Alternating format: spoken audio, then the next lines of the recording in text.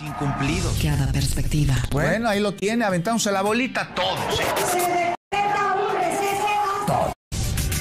Descifrando el país a través de la noticia. Fórmula Noticias con Juan Becerra.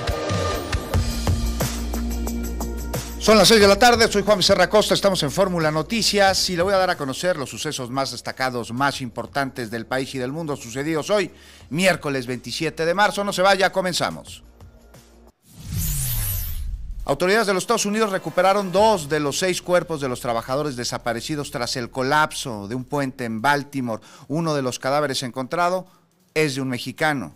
Las personas encontradas serían Alejandro Fernández Fuentes, de 35 años, de nacionalidad mexicana, y Dorlian Castillo Cabrera, de 26 años, nacionalidad guatemalteca. El coronel Rolando Butler de la Policía Estatal de Maryland dijo que los buscadores creen que los cuerpos de los cuatro trabajadores restantes que probablemente también se encuentran en vehículos podrían ser más difíciles de encontrar. En su conferencia mañanera, el presidente López Obrador afirmó que no hay ningún motivo, dijo, para anular las elecciones del próximo 2 de junio y advirtió que en caso de que sus opositores busquen un golpe de Estado técnico, eso dijo que sería como soltar a muchos tigres. Nada más que no se podría anular una elección porque no hay ningún motivo. Pero además, imagínense ustedes, tocó madera, pues solo que la irracionalidad, ¿no? Nos llevara a una situación extrema que sería el equivalente a un golpe de Estado técnico, pero sería como soltar a un tigre o a muchos tigres. Además, el presidente López Obrador respaldó a la gobernadora Campeche, Alaida Sansores, ante las protestas por las agresiones que sufrieron mujeres policía en el penal de Cobén. El presidente dijo que hay mano negra pero sí dejar de manifiesto que le tenemos toda nuestra confianza a la gobernadora Laida Sansores. Pero le recomendaría a los policías de Campeche que lleguen a un acuerdo con Laida, que es una gobernadora honesta, de buenos sentimientos y que no se dejen manipular porque hay mano negra. En las últimas horas se han registrado cuatro nuevos incendios en el país. La cifra de fuegos activos subió de 116 ya a 120. El informe oficial actualizado de la Comisión Nacional Forestal detalla que los estados con más incendios son el Estado de México con 24, Chiapas con 16, Michoacán con 13 y el Estado de Guerrero con 12. Hace un año 40 personas perdieron la vida, murieron, 27 resultaron heridas en un incendio en una estación migratoria del Instituto Nacional de Migración en Ciudad Juárez, en Chihuahua. Los dejaron encerrados. El instituto informó hoy que se han recibido indemnización bueno, 29, 40 familias de las personas migrantes. Faltan 11, 11 eh, indemnizaciones. Señaló que continúan las gestiones a dictámenes sobre montos de pago para las 27 personas migrantes que resultaron lesionadas, también para el resto de las familias. Alejandro Murat, es gobernador de Oaxaca, acudió hoy a la casa de campaña de la candidata de la coalición Fuerza y Corazón por México, de la ingeniera Xochitl Galvez, para que le diera, dijo, derecho de réplica a supuestos presuntos señalamientos de su reclutamiento en Morena. Bueno, estoy aquí en las conferencias de prensa de la candidata Xochitl Galvez y he venido a exigir mi derecho de réplica, ya que en este espacio ella ha hecho ciertas afirmaciones a mi persona que me difaman, son mentiras y bueno, pues esperemos que nos dé la oportunidad de responder.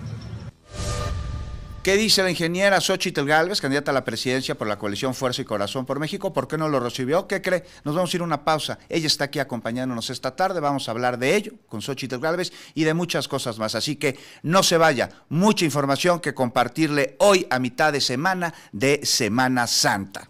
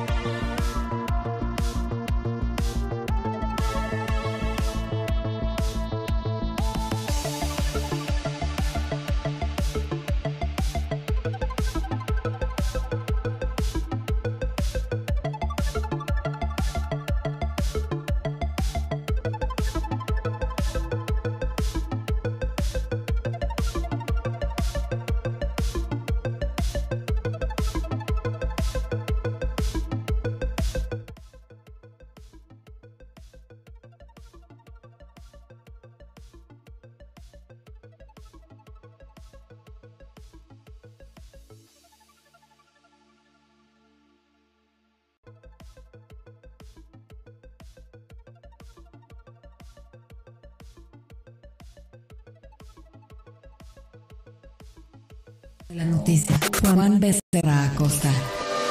Son las seis de la tarde con ocho minutos. Gracias por continuar con nosotros y gracias a la candidata por la coalición Fuerza y Corazón por México, la ingeniera Xochitl Galvez, pues por acompañarnos esta tarde aquí en Fórmula Noticia. ¿Cómo estás, candidata? ¿Cómo te va? Juan, muy contenta, ya casi un mes de campaña recorriendo el país, eh, buen ánimo en las redes sociales, pues la verdad es que les doy dando una pela a los otros dos candidatos en todas las plataformas.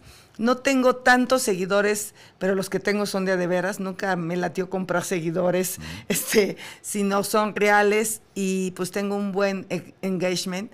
Eso me hace darme cuenta que las redes están jugando un papel importante. Y bueno, soy muy de tierra, trato de caminar lo más que puedo el país. Y bien, estoy contenta. El ánimo ha cambiado en la campaña la gente que quiere hacer campaña voluntariamente la está haciendo, mandan a hacer sus playeras, mandan a hacer sus eh, estampas, eh, ponen sus lonas de cartón. Bien, contenta. Oye, Xochitl, de repente todos te veíamos en la candidatura a la jefatura de gobierno de la Ciudad de México. es- estuviste en el Senado de la República durante la actual legislatura y de un momento a otro brincaste a ser candidata de tres partidos a la presidencia de la República. Por el PAN, partido con el que has colaborado durante muchos años, con el PRI, el partido por el cual el PAN nació para tener las políticas que impulsaba durante el sexenio del general Lázaro Cárdenas, y el PRD, un partido que originalmente fue de izquierda, pero bueno, cambió esta ideología de alguna manera. ¿Cómo se dio este brinco cuántico? Yo creo que el único partido que sigue siendo de izquierda es el PRD. ¿Tú crees Sí, el PRD? Por, por supuesto que sí. Él es el autor de la pensión de los adultos mayores en la Ciudad de México. Es el partido que llevó esa propuesta. Pero Es- lo fue, ¿no, pero Xochitl? no, lo sigue siendo. Es un partido al que yo quiero y respeto muchísimo. Es un partido que siempre ha impulsado la agenda de la diversidad. Se lo reconozco abiertamente, la lucha de las mujeres. Sus ideales del PRD me encantan. Eh, el PAN, pues de alguna manera me cobijó en el sexenio de Vicente Fox. Yo fui de las que llegó por cazadores de talento. Sí. es una cosa rarísima. Los headhunters, Los ¿no? headhunters. me contrataron, era una mujer que tenía una fundación. eh, trabajaba en comunidades indígenas sacando a niños de la desnutrición. Es lo que yo sentía que podía hacer como empresaria. En mi tiempo libre me iba a las comunidades. Llegamos a tener a 100 mil niños en el programa de nutrición. Cedillo adoptó la papilla de la fundación por venir en 1997 y eso fue muy interesante. Con el PRI, pues sí tuve mis diferencias en el pasado, digo, competí contra ellos en Hidalgo, durísimo, nos dimos con la cubeta. Muchos de esos pristas ahora están en Morena, Murat entre ellos, que está enojado. Te fue a buscar Xochitl Murat hoy en la mañana, te fue a pedir un derecho de réplica. No lo recibiste. ¿Por qué no lo recibiste? Primero porque yo no soy autoridad, el derecho de réplica aún, ahora que sea presidenta lo recibo en Palacio Nacional o en Los Pinos, en cualquiera de las dos oficinas. Eh, eh, Murat se queja de algo que pues la verdad es que yo solo recogí información. El fraude en Infonavit, pues el presidente de la República habló de los 5 mil millones de pesos que se desviaron a dos empresas.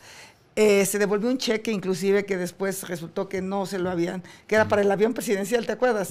Y se lo tuvieron que dar- devolver a Infonavit porque era un quebranto Infonavit. Andan por ahí todavía juicios en el tema. Entre Penchina y Murat se echaron la bolita, uno firmó el convenio, otro pagó. Eh, pero ese tema pues fue del propio presidente, si es que le pida derecho de réplica al presidente de la República. Y el tema de Salomón, a mí me tocó escuchar a Salomón los cinco años o cuatro que fui senadora con él, De Salomón Jara, el gobernador del el estado de Oaxaca. actual. Siempre hablar de la corrupción de Murat, siempre hablar de que habían sido unos bandidos, los Murat en Oaxaca. Esa era su lucha de Salomón justo este, contra ellos. Él hablaba de este terreno en Huatulco, que se lo había quitado al Estado. Él hablaba pues de que pues junto con un tal Vicente este, eh, eran bastante malos para manejar el dinero. Entonces que él vaya a Su pedir operador derecho. financiero que trabajó con él, colaboró con él en el Infonavit, me parece también si es el mismo Vicente al que tú te refieres, el que quedó encargado de despacho en el Infonavit, Exacto. cuando Alejandro Murat se fue a la campaña para ser Eh, eh, gobernador. Entonces yo lo único que hice fue repetir lo que he escuchado a lo largo del tiempo del presidente de los 5 mil millones y de estos quebrantos que hicieron al gobierno del Estado. Y la verdad de las cosas es que los Murat no tienen ninguna buena fama pública. Pues no lo recibiste Xochitl Galvez y bueno, pues ahí está, le dices que vaya a buscar otra puerta para tocarla y ahí eh, ejercer su derecho de réplica. Xochitl, me decías hace unos momentos que el PRD es de izquierda. Bueno, o sea, sin juicio de valor. Eh, En el 2018 a mí me extrañó mucho ver cómo el PRD celebró un aniversario suyo, eh, una fiesta con un evento público. Ya estaba la campaña de aquel entonces del 2018 y quien encabezó la ceremonia fue el candidato a la presidencia entonces del PAN. ¿Tú te hubieras imaginado eso del partido que surgió, que, surgió, que nació del Frente Democrático Nacional, en donde todas las izquierdas del país se juntaron, que terminara un candidato del PAN levantando la mano del PRD. Te digo que yo, yo nunca me hubiera imaginado. Ideologías distintas. Yo nunca me hubiera imaginado que Morena estuviera impulsando los combustibles fósiles, por ejemplo, de un partido de, izquierda, o, o, que Morena estuviera en contra de las causas de las mujeres. Eh, realmente las agendas de izquierda se han ido desdibujando y yo creo que hay que retomarlas. El tema de la justicia social, es fundamental, es importante. Y ahí es donde yo nazco. Yo nazco luchando contra el cacique de mi pueblo, a los 12, 14 años, porque en el pueblo había un cacique que nos tenía pero fregados. ¿Qué les hacía este? Pues este controlaba todo el pueblo. Yo vi cómo embarazaban las urnas una vez y un día le dije, papá, por eso ya vi por qué no ganamos, porque rellenan las urnas antes de tiempo. Andaba yo curuceando por el Meche en el campo y ahí estaban rellenando las urnas la gente del cacique y pues nunca podíamos ganar por la vía democrática. Yo sí creo que el, el PRD hizo esta alianza pensando en cómo evitar un gobierno autoritario. Yo nunca me imaginé que el presidente de izquierda iba a militarizar el país. nunca, porque él había dicho que iba a sacar a los militares de la calle y fue todo lo contrario. Entonces, realmente yo creo que quien falló con las causas de izquierda es el actual presidente de la República.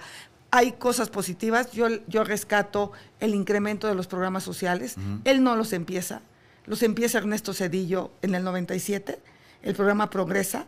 Sigue Vicente Fox con el programa Oportunidades, que ya son las transferencias, se convierte en el programa Prospera, que por cierto este presidente le quita a las mujeres el programa Prospera, por eso abandonan tantos niños la escuela.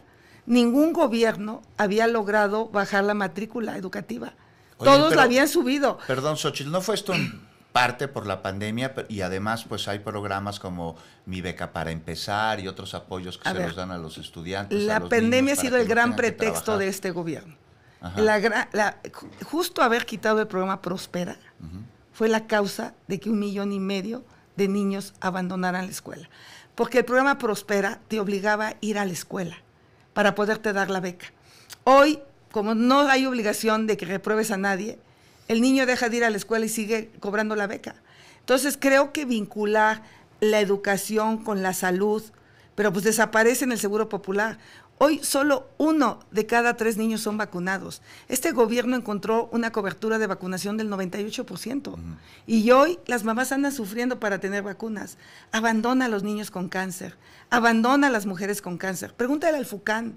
Tú antes le decías a una mujer, tiene cáncer, señora, no se preocupe el Seguro Popular cubre su tratamiento. Hoy les dicen, señora, tiene cáncer, busque quién le paga las quimios. Y si tienen ISTE o tienen IMSS, probablemente, pero el retraso de las citas es hasta de nueve, hasta de nueve meses. 50 millones de mexicanos ahora no tienen seguridad social. Entonces, realmente yo nunca me imaginé este desastre de Morena. Yo sí esperaba que hiciera un mejor gobierno en materia de salud, en materia de educación. Y con la pandemia tocas un tema importante. Me acabo de reunir con los científicos. 810 eh, mil personas murieron por el COVID. Ellos se las pasaron diciendo que eran 345 mil. Hugo López Gatel decía que el cubrebocas no servía para nada.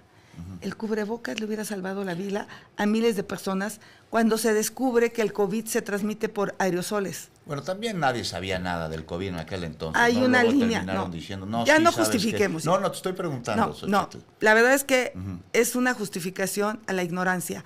Hay un también todos fuimos vacunados, ¿no? y gratuitamente. Pero muy... Te voy a explicar cómo estuvo. Cuando ya los científicos tenían evidencia que había que usar cubreboca, Hugo López Gatel decía que no servía. Eh, y eso le pudo haber salvado la vida a muchas personas. ¿Por qué Chile tuvo mucho menos eh, fallecimientos? Porque tuvo una política de hacer pruebas. Tú llegabas a Chile, a mí me tocó ir, y te hacían una prueba en el aeropuerto. Y si salías positivo, te aislaban.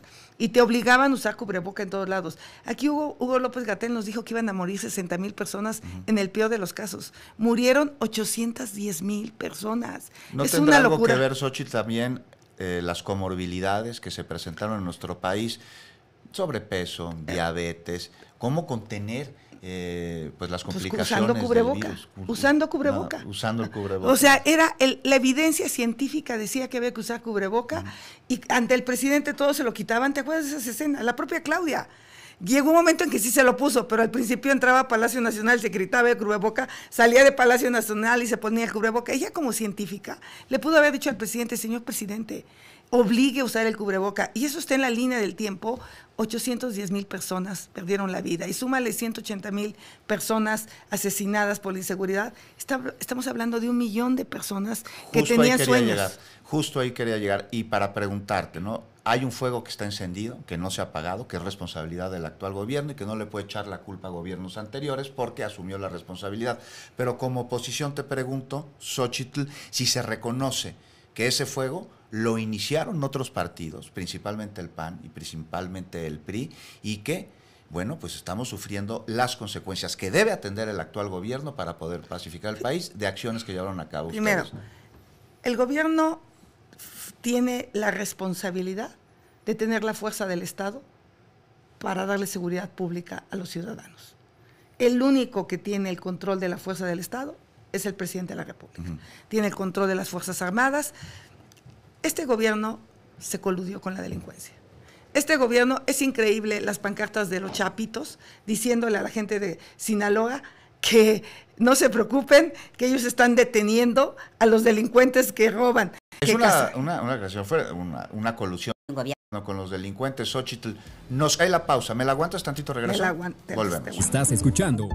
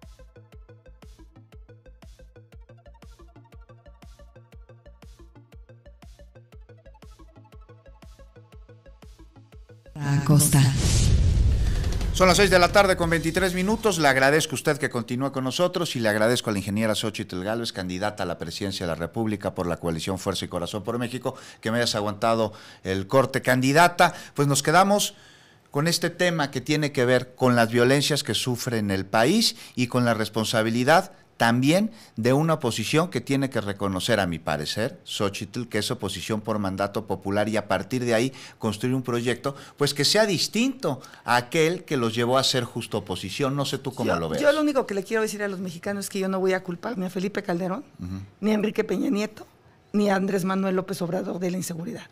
Yo me voy a ser responsable de la seguridad de los mexicanos.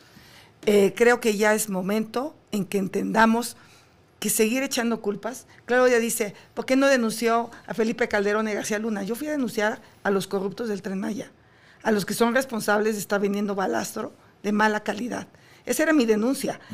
En ese sentido, yo lo que le quiero decir a los mexicanos es, no nos tenemos que resignar a vivir en un país inseguro. He presentado una estrategia muy clara. No voy a seguir perdiendo dinero en Pemex. Vamos a hacer que la petrolera sea una empresa eficiente, es una empresa que produzca, que genere dinero para los mexicanos, como lo fue en el pasado, y ese dinero que, ese billón de pesos que se pierde en Pemex, se va a dedicar a la seguridad pública, a la educación pública y a la salud pública. Ningún policía va a ganar menos de 20 mil pesos, va a tener seguridad social, becas para sus hijos, va a tener la posibilidad de tener una vivienda. Vamos a duplicar la Guardia Nacional, pero con una Guardia Nacional que sí sea guardia, que sí sea nacional, que sí investigue. La policía de proximidad también tiene que investigar. Vamos a duplicar ministerios públicos. O sea, vamos a hacer una estrategia de seguridad eficaz. Y yo creo que el pretexto de echarle la culpa a Felipe Calderón ya se les agotó ellos dijeron que si les dábamos la Guardia Nacional iban a resolver el problema y no lo resolvieron. Y Claudia representa la continuidad de este proyecto, de esta estrategia fallida. Al crimen se le enfrenta, al crimen se le mete en orden, con inteligencia, con estrategia, con cuando sea necesario el uso de la fuerza, pero tampoco podemos renunciar al uso de la fuerza. Yo no soy feliz de ver a los eh, soldados que lo saquen escobazos de, de, los pueblos. Tenemos que recuperar esa honorabilidad del ejército. Ya no tenemos a otro. Si el ejército no funciona, ¿qué sigue? ¿Qué sigue? El país está en llamas. En Chiapas yo lo conozco como la palma de mi mano. Y ¿Qué Chiapas... experiencia tienes en materia de seguridad, Xochitl, en materia de atender justo estas problemáticas de delincuencia? Ya gobernaste, Tengo fuiste una delegada en la alcaldía desde donde estamos transmitiendo, en Miguel Desafortunadamente Hidalgo. aquí la ciudad tenía control de toda la seguridad pública. Uh -huh. Ahora con la nueva reforma constitucional le dieron un tramo al, a los policías, al, al, a los policías locales. Te voy a decir en qué tengo experiencia. Yo he sido una gobernante en el gabinete presidencial de hacer equipos. Con Julio Fren llevé el Seguro Popular a zonas indígenas. En la SEP, 10 universidades interculturales. Sé hacer equipos. Hicimos carreteras, hicimos electrificaciones en los lugares más remotos. ¿Tú crees que hacer una carretera en la Sierra Mije, hacer cortes de 150 metros, es sencillo? No, es, es complicadísimo. Es más, es más difícil que darle mantenimiento al metro el metro se le pudo haber dado mantenimiento y no se hubiera caído. Entonces, no, es mi experiencia... pero no es lo mismo que atender un tema de estrategia para combatir a ver, la te voy a dar un ejemplo de, de, de te, te, voy a dar un ejemplo mm. de la falta de experiencia de Claudia. Solo uno de cada 100 delitos se castigaron en la Ciudad de México. Bajó la incidencia de seguridad, de acuerdo al INVIPI, de 89% de percepción de inseguridad a 80%. Ella usa otra encuesta Sí, porque aquí hay otros datos no, que tienen que ver con una disminución no, de delitos absolutamente de más del 50% falso, en la absolutamente ciudad falso. y una disminución de la Subieron, percepción de inseguridad. Pero esto de acuerdo con datos no, del Secretariado de Seguridad. No, no, usa la ENSU, que la ENSU es una encuesta que se hace por alcaldía. Uh -huh. La que tienes que usar para medir una ciudad es la ENVIPE. Claudia juega igual que el presidente con los otros datos. Yo te enseño la ENSU de 89 a 80%. Eso no es un éxito. Si me hubiera dicho bajé la inseguridad de 89 a... a aquí, aquí, aquí, está la ENSU, te, la, uh -huh. te, las voy a dejar. La ENVIPE está claramente como eh, este, pasamos de 2018, que había 89%, a, a 80% en 2023. Entonces, la, la, verdad de las cosas es que yo lo que te quiero decir es, aquí está la Ciudad de México, Eh, no, bueno, hay Oye, que bueno. Xochitl, para llegar a esto necesitas llegar a la presidencia de la República. ¿Cómo va el trayecto? ¿Cómo va el camino? Y en esto te tengo que preguntar, ahí están las encuestas. Yo sé, el otro día te escuché diciendo a mí, las encuestas, a mí lo que me importa es la calle, no las encuestas. Pero no las encuestas se levantan en la calle, ver, Xochitl. pues es que la gente no está contestando. Ajá. porque le tienen miedo a este gobierno represor. Hoy presenté una iniciativa eh, para que el INE ponga letreros por todo el país que los programas sociales no le pertenecen a un partido político. Los servidores de la nación se han dedicado a decirle a la gente, Oye, por cierto, la consejera presidenta del INE ya te pidió que bajaras los, los ejemplos que pusiste. bueno, los puse para que se diera una idea de lo que me gustaría poner. ¿Te estás Eh, censurando el INE? Pues de alguna manera le estoy dando ideas, pero no le falto el respeto, los voy a bajar. Yo acato las instrucciones. Pero lo que te quiero decir, cuando fui jefa delegacional, dijeron que iba a perder por 17 puntos Sí. y gané por 5. Al gobernador de Durango le dijeron que iba a perder por más de 20 puntos y ganó por 17 puntos. A ver, vamos, vámonos, vamos más reciente. Marcelo Ebrard y Adán Augusto López en la interna de Morena se pelearon con las encuestas y terminaron abajo, que ah, por ahí tengo el dato, unos 14 puntos, como publicaron las encuestas en su momento. Yo siento que tú estás más o menos haciendo lo mismo que ellos No, y no, no, pelearse el- con las no, encuestas. No, me estoy peleando con las encuestas. Sí, la, verdad 14 de las, la, verdad de las cosas es que dos de las encuestadoras más asertivas en el, en el Estado de México fue Massive Caller y México Elige. Es la segunda y la tercera que más precisión tuvieron en cómo iba a quedar la elección. De las que me dices, dijeron que más de 20 puntos en el Estado de México y quedó 8 puntos. Hoy Massive Caller me pone a 4 o 5 puntos. Eh, la otra encuesta de México Elige, que fue súper acertada, me pone a 9 puntos. Eh, voy caminando, el voto oculto seguramente va a salir. No hay manera que Claudia tenga más de 32 millones de votos. AMLO con 18 años de, de campaña tuvo 32 millones de votos. Perdón, aquí déjame decirte una cosa. Igual estoy equivocado, pero AMLO tuvo esa cantidad de votos sin haber gobernado. El proyecto que inició en el gobierno del presidente López Obrador, que es el de la cuarta transformación, ya tuvo cinco años con y derecho. fracaso brutal.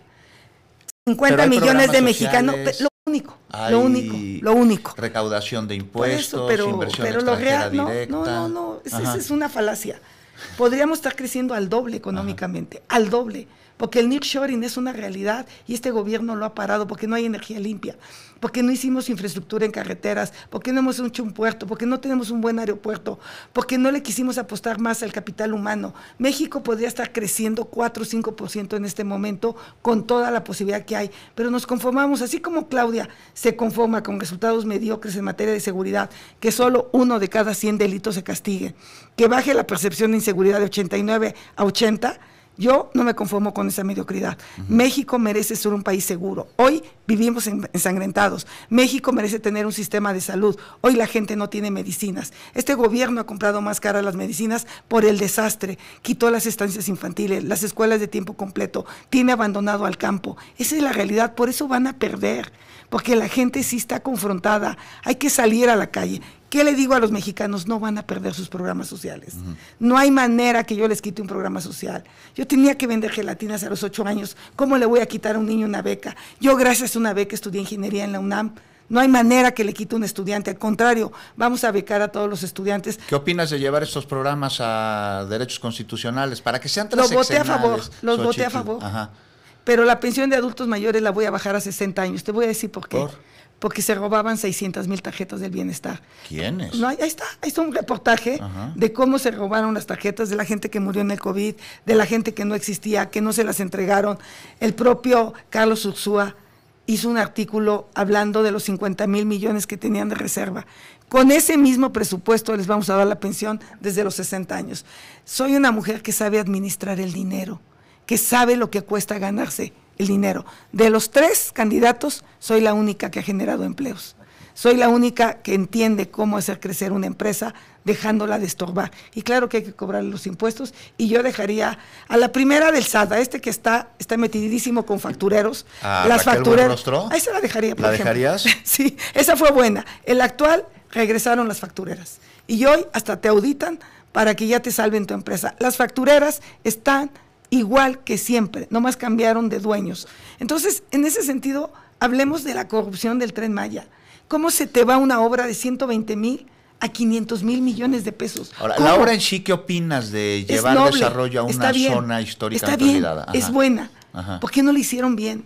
¿Por qué el robadero de pagarle el balastro y meter a los primos de Andy al negocio? ¿Por qué? Ya se está investigando, No, pero presentaste están una las- denuncia, sí, ¿verdad? Pero están las empresas creadas y están los contratos. Y ellos mismos dicen que pagan un moche por cada 3 mil metros cúbicos de balastro y que ya cuando se descarrila el tren, pues ya será otro pedo.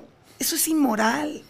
Eh, dos bocas iba a costar 160 mil millones. Hoy cuesta 400 mil millones. Esa es la realidad. Oye, y hablando de dos bocas, nos queda un minutito, Xochitl, y no te voy a robar más tu tiempo, pero me decías hace un rato que la cuarta transformación pues no tiene ninguna planeación en materia de cuidado al medio ambiente justo por el uso de combustibles fósiles. Pero es imposible cambiar el uso de combustibles fósiles a combustibles alternativos de un día a otro, ¿no? A ver, Estados Unidos acaba de anunciar que para el 32 reduce las emisiones. Por lo tanto, los coches van a ser híbridos. Nosotros no somos 32. de los países más contaminantes Pero del nuestro mundo, ¿eh? choco, pero, pero no importa, porque somos la economía número 15 y somos el 12 en contaminación.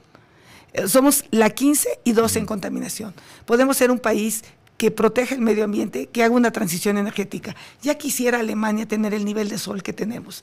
Ya quisieran tener los vientos que tenemos en la ventosa, que tenemos en el norte del país. El agua que tenemos en la ciudad. Hagamos líneas de transmisión de corriente directa, traigamos inversiones a México relacionadas a la tecnología para que la gente gane bien. Yo no quiero... Xochitl, nos cae la pausa.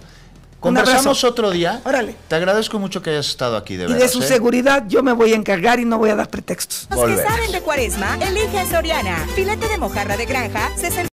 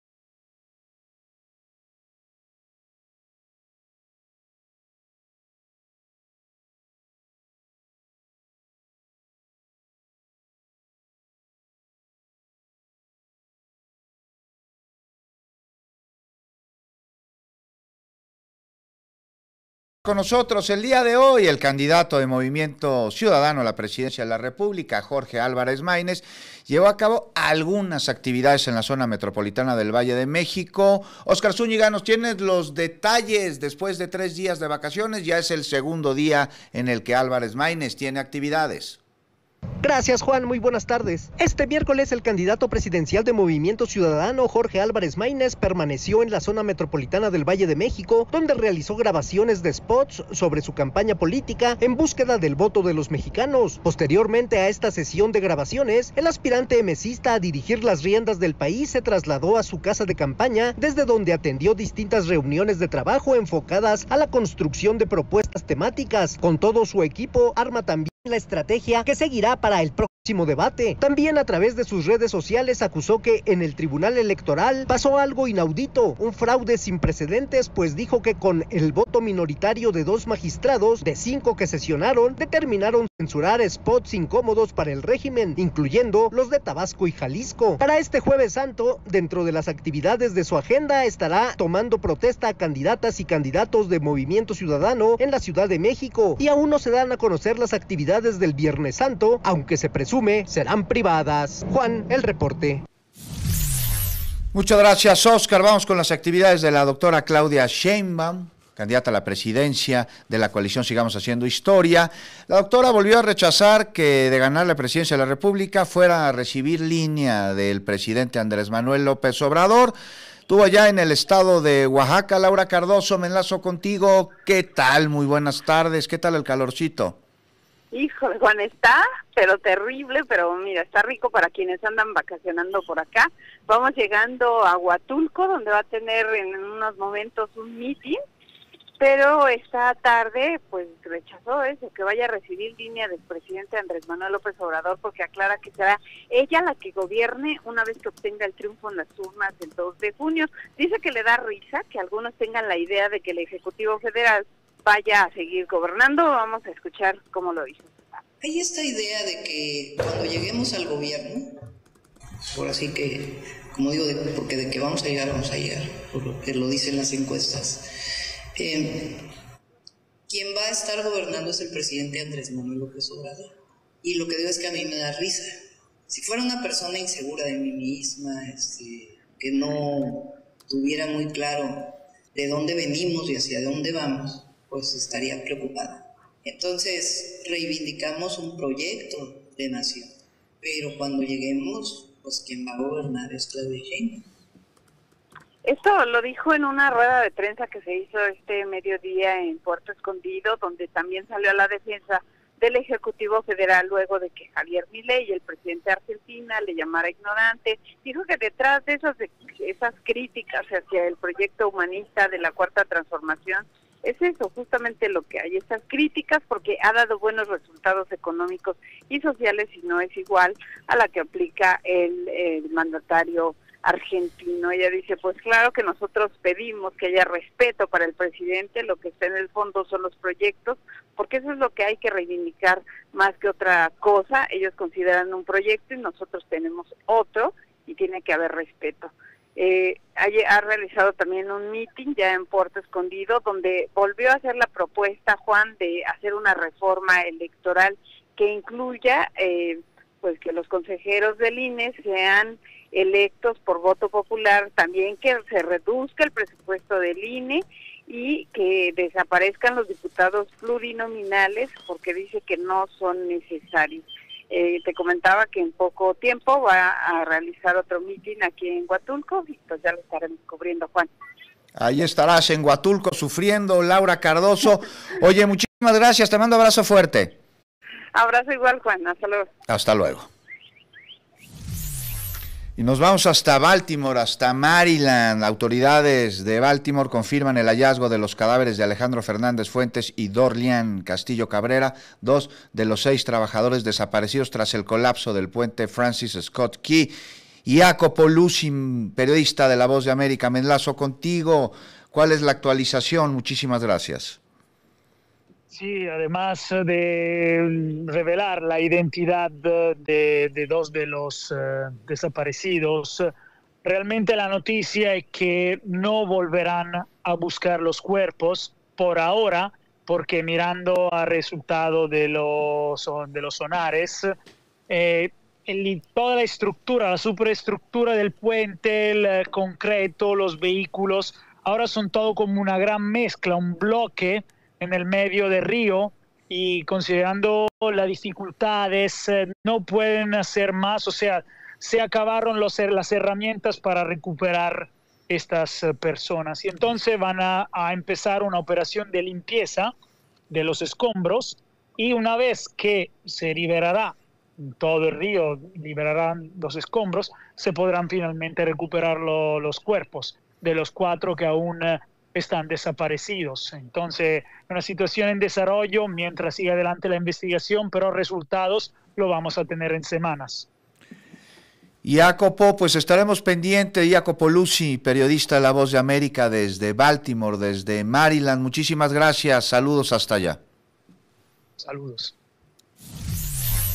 Cambios de información. Hoy se cumple ya un año del incendio en la estación migratoria de Ciudad Juárez de Chihuahua que cobró la vida de 40 migrantes, dejó heridos a 27 más.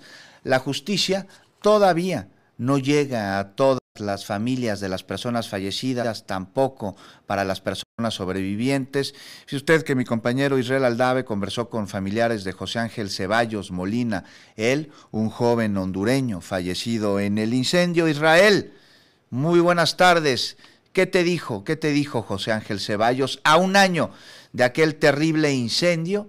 Porque los dejaron encerrados en una estación migratoria en Ciudad Juárez a los migrantes sin llaves y ahí murieron muchísimos calcinados en un evidente acto de negligencia por parte de las autoridades migratorias de nuestro país. Sí, así es, Juan, ¿qué tal? Gracias. Eh, muy buenas tardes. Hoy se cumple lamentablemente un año de este crimen, de esta verdadera tragedia que marcó sin duda, eh, Juan, pues la historia de nuestro país, por lo menos en lo que toca al capítulo migrante. No hay ningún sentenciado por la tragedia, aunque hay 11 vinculados a proceso, uno de ellos el comisionado del Instituto Nacional de Migración, Francisco Garduño, quien dice que duerme muy tranquilo y quien presuntamente es investigado por su responsabilidad en el caso, pero en funciones. Hablamos con los familiares de uno de los muertos, el hondureño José Ángel Ceballos Molina, que tenía Juan 21 años al momento de la tragedia. Él tenía el sueño de llegar a los Estados Unidos para poder mantener a su familia, sacarla, sacarla de la pobreza extrema donde vivía en Honduras y dedicarse pues a ingeniero industrial, el oficio que él tenía madre y su tía, la señora Silvia y Silvia, nos cuentan que hasta el momento el gobierno de México no les ha reparado el daño. Incluso que desde el año pasado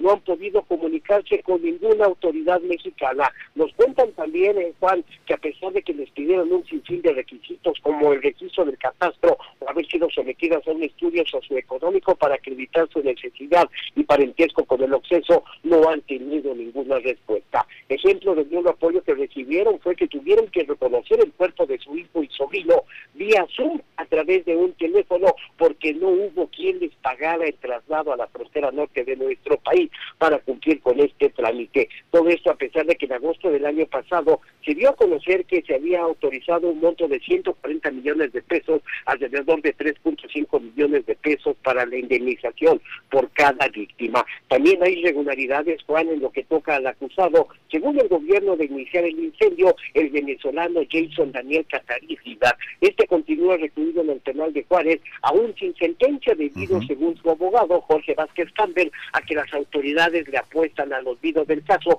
además de la serie de irregularidades que se han presentado, como la prisión a testigos y amenazas para inculparlo. Este joven migrante, eh, Juan, también vale la pena señalarlo, ha sido olvidado por el gobierno de su país. El cónsul de Venezuela en México lo ha ido a visitar en un par de ocasiones, una de ellas solamente para entregarle dos cobijas para que pudiera soportar el frío invierno de Ciudad Juárez. Así la situación, Juan, a un año de esta tragedia que destruyó la vida de más de 80 familias en cinco países, en donde, por supuesto, Juan, hasta el momento no hay justicia, no hay justicia y sí, mucho olvido. Israel, pues estamos pendientes y justo el Instituto Nacional de Migración, pues dijo que la reparación del daño y la atención a las víctimas avanza. Dicen que 29 familias y un total de 40 migrantes pues han recibido ya indemnización. Enrique Hernández, tú nos tienes más detalles sobre este tema. Voy contigo. Enrique. Es que, ah, sí, Juan, aquí, ¿sí me escuchas? Te escucho. Gracias. Fíjate que uh, Parece que perdimos la comunicación con... Ahí está. Parece que tenemos sí, Juan, problemas ahí, ahí de comunicación, Enrique. A ver, un conteo del 1 al 3. Sí. Ahí estás, te escucho. sí, Juan. Gracias. Fíjate que justamente durante el 2023, en los días posteriores a esta tragedia, la autoridad migratoria solicitó formalmente la intervención de la Comisión Ejecutiva de Atención a Víctimas para garantizar la atención a los, pro, a los procedimientos y la forma de pago a los deudos de 40 migrantes fallecidos así como los 27 lesionados. En el reporte, el instituto que encabeza Francisco Garduño Yáñez confirman que también fueron autorizados un total de 68 tarjetas de visitantes por personas para personas humanitarias.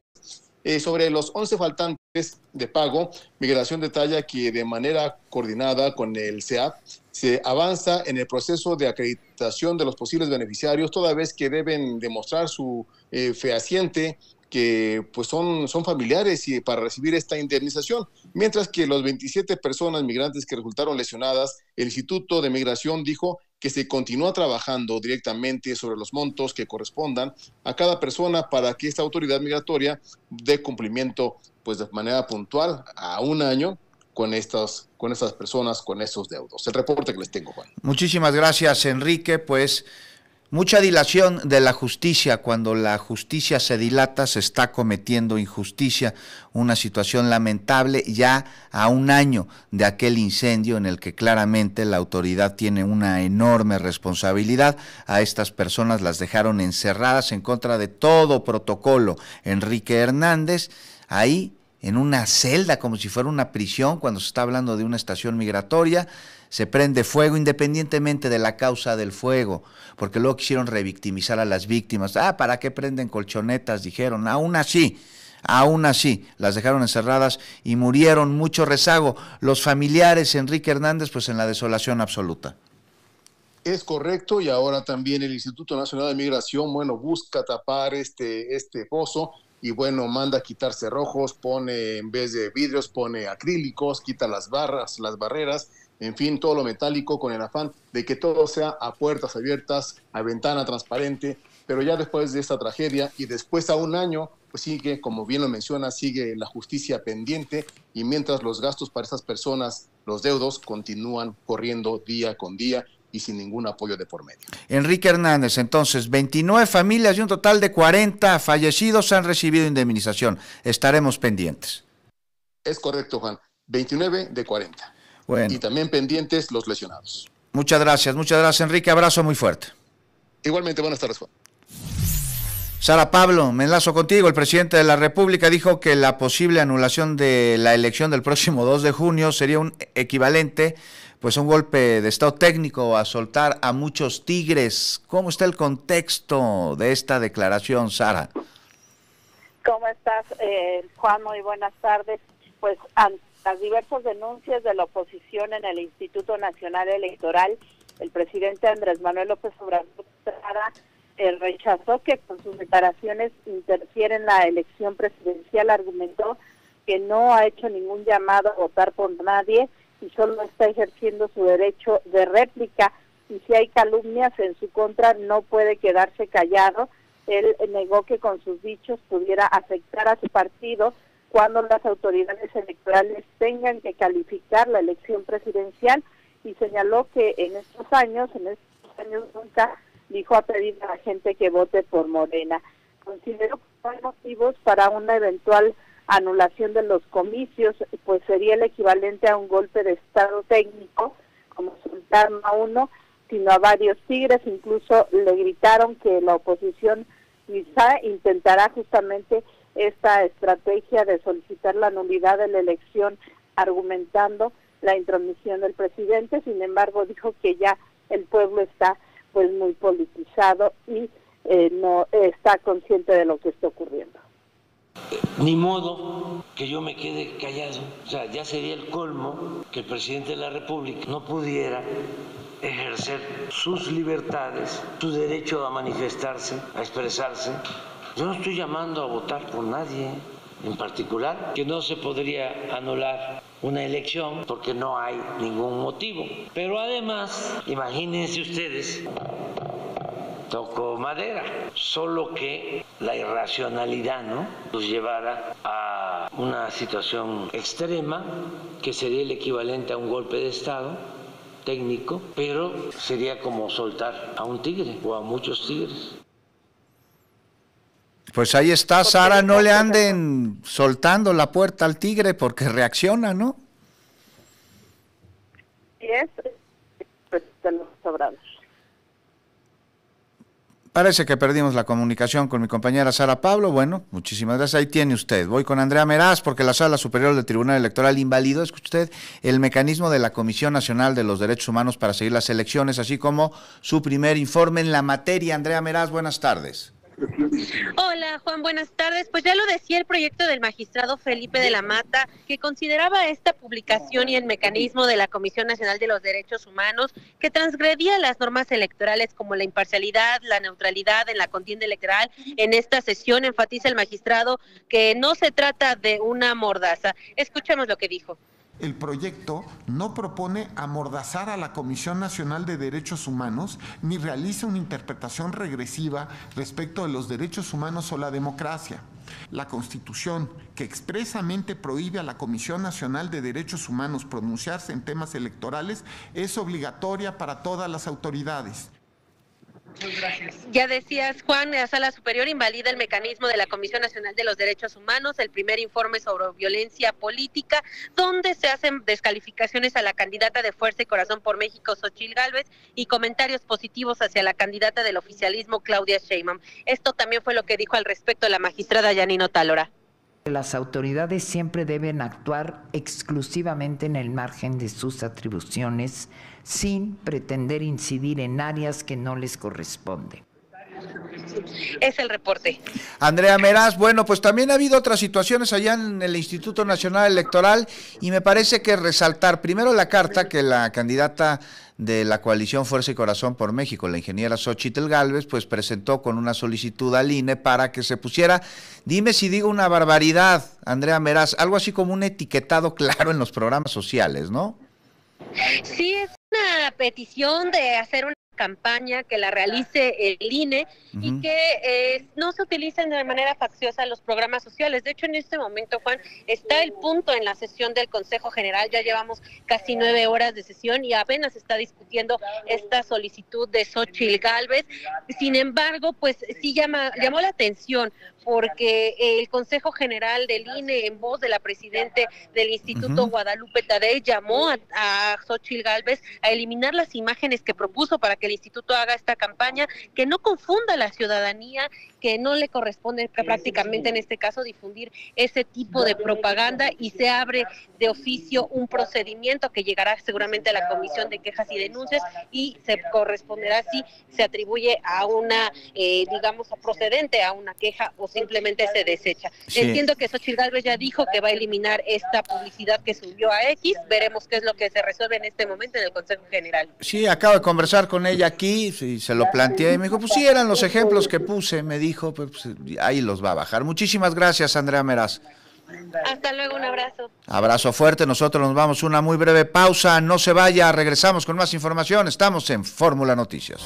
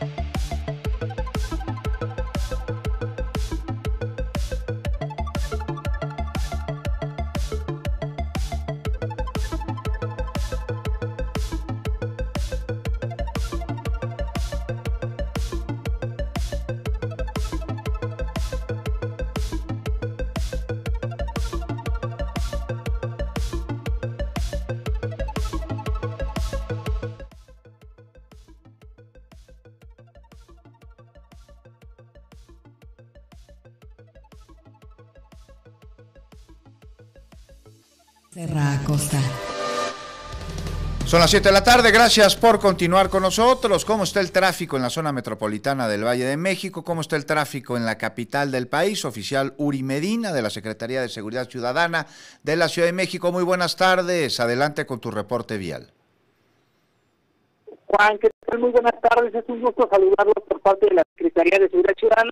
Bueno, en estos momentos les voy a informar en lo que sucede en la zona oriente de la ciudad. Bueno, y severamente se ve afectada la circulación, esto en el eje 6 sur, a partir de lo que es el circuito interior hasta Javier Rojo Gómez, debido a que se encuentra cerrado una parte de extrema derecha del eje 6 sur a la altura de la calle Gualquila. Esto debido para entrar para que dejen entrar el libre paso a la central de Abastos. También severamente también se ve afectada la circulación en Javier Rojo Gómez, esto procedente de la calzada Ermita y Tapalapa hacia lo que es el eje 6 sur. En otro punto de la capital, la calzada de Ignacio Zaragoza ya incrementa minuto a minuto el aforo vehicular de Avenida Guelatao hacia lo que es el puente de la Concordia. Y pasamos a zona sur, donde también se muestra con muy lento avance el anillo periférico de Avenida Tláhuac hacia lo que es la glorieta de Vaqueritos. Hasta aquí queda lo que es el reporte del Centro de Orientación de la Secretaría de Seguridad Ciudadana. Muchas gracias, oficial Uri Medina, que tengas muy buena tarde. Leopoldo Espejel, me enlazo contigo. Decenas de vecinos de varias colonias allá en Ecatepec, en el Estado de México, están llevando a cabo tres bloqueos en distintas zonas del municipio. ¿Qué exigen a las autoridades locales y cuál es la situación en estos momentos? ¿Cómo estás, Juan? Muy buenas tardes. Pues sí, se han cumplido ocho horas de este bloqueo ahí en la carretera Texcoco-Lechería por parte de habitantes de varias colonias del municipio de Catepec por falta de agua. Esto ha generado un severo caos vial en toda esta zona que abarca pues prácticamente desde la zona oriente hacia la zona centro del municipio de Catepec. También afecta, por supuesto, Juan, la avenida central, la R1 y en su caso la autopista México-Pachuca si se dirigen hacia esta zona centro de Catepec. Están eh, dialogando con autoridades municipales para tratar de destrabar este conflicto que ha cumplido ocho horas.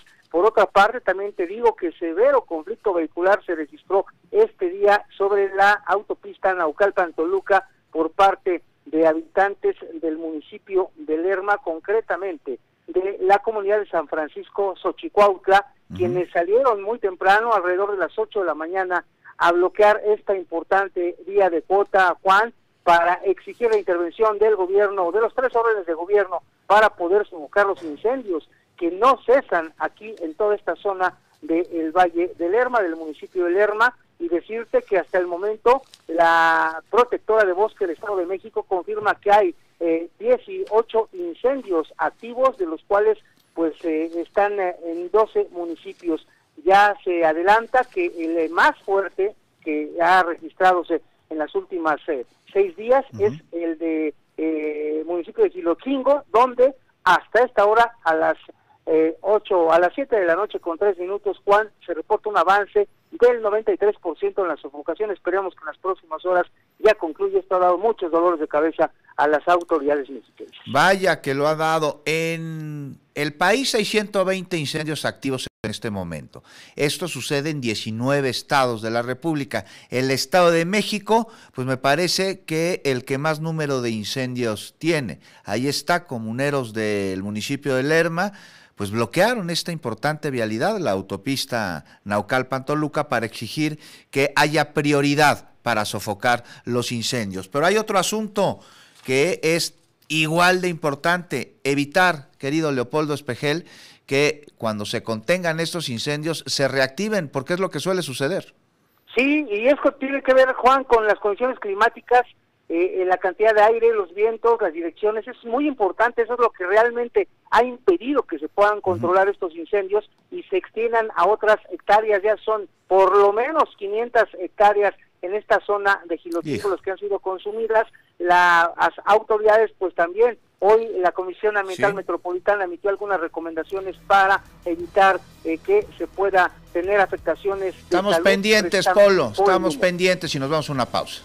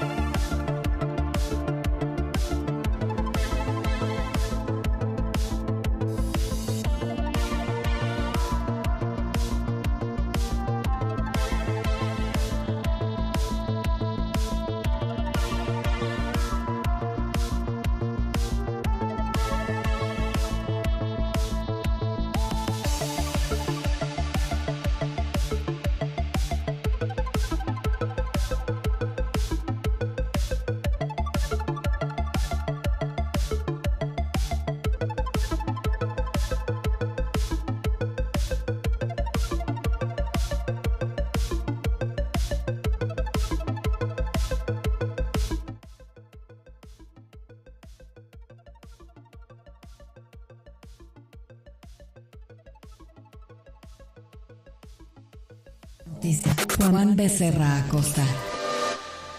Son las 7 de la tarde con 8 minutos. Gracias por continuar con nosotros. Nos vamos hasta Campeche, donde sigue complicada la situación después de que hace casi 15 días pues se dio un motín en un penal en este estado al que acudieron mujeres policías y bueno, fueron violentadas, no existían las herramientas suficientes como para que ellas pudiesen haber contenido este motín. Le he explicado claramente qué es lo que sucedió.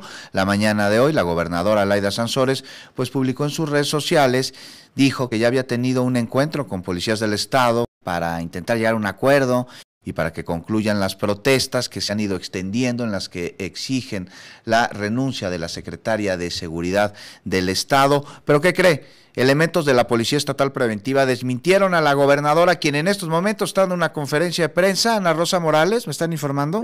Efectivamente, Juan, eh, buenas tardes. Estoy aquí en la sala, eh, en esta cancha techada que tienen los elementos policiales. Hay más de 300 elementos aquí enfilados se está dando un pronunciamiento precisamente por la declaración que hace el presidente Andrés Manuel López Obrador hoy por la mañana. Vamos a escuchar parte de esta conferencia, si me permite. Estamos en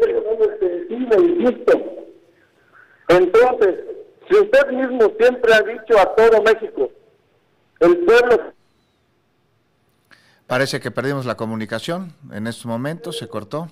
Ana Rosa, ¿estás ahí? Porque si el pueblo de Campeche paga el salario de los, de los servidores públicos, ahora exigimos esta destitución por el bien del Estado. No somos escuchados ni como ciudadanos ni como policías. Díganos, señor presidente, ¿qué nos tiene que pasar para que pongan atención a lo que está pasando en Campeche? ¿Acaso alguno de nosotros tiene que morir? ¿Acaso nuestras vidas no tienen valor? Ahora sí. Y cada uno de los ciudadanos de este bello país, su vida es valiosa. Bueno, pues se está llevando a cabo esta conferencia. Acá escuchamos claramente cómo, pues ahí está el reclamo, Ana Rosa, que tiene que morir un policía, le están diciendo, para que tengan atención. ¿Por qué nos traiciona? Así inician esta conferencia de prensa, así cuestionan al presidente Andrés Manuel López Obrador estos elementos eh, policíacos. Y como bien eh, comentaban hace un momento, eh, por la mañana, luego de este mensaje que sube la gobernadora Laida Sanzón de San Román, estos elementos también le dicen, gobernadora, usted se está reuniendo con policías administrativos que son de proximidad social, no son elementos operativos. Los operativos estamos aquí en la corporación esperando el diálogo, es lo que le están eh, señalando. Eh, te comento rápidamente, porque hay una situación que se está dando. Hace unos momentos un elemento policíaco se me acerca y me dice, que ya recibimos eh, vamos por, estamos por recibir el apoyo del eh, Sindicato Nacional de Policías, quienes ya se comunicaron y nos están informando que nos van a traer víveres, que nos van a enviar víveres y que incluso por la situación que vivimos nosotros aquí en Campeche y los policías de Tabasco podrían convocar a una manifestación nacional. Pues estaremos pendientes, Ana Rosa, de ver lo que suceda allá y me enlazo contigo en la noche en Telefórmula para pues que me narres, me des la crónica de la conferencia de prensa que se está celebrando en estos momentos y que ahí se escuche en donde tú estás. Buenas tardes. Muchas gracias, buenas tardes. Bueno, hace rato le informé que la Sala Superior del Tribunal Electoral invalidó el mecanismo de la Comisión Nacional de los Derechos Humanos para seguir las elecciones, así como su primer informe en la materia. Reacciona la Comisión Nacional de Derechos Humanos al calificar como regresiva la determinación del tribunal en torno a la queja presentada por el PAN contra los informes sobre violencia política presentados por el organismo autónomo. Enrique Hernández nos tiene los detalles, me enlazo contigo.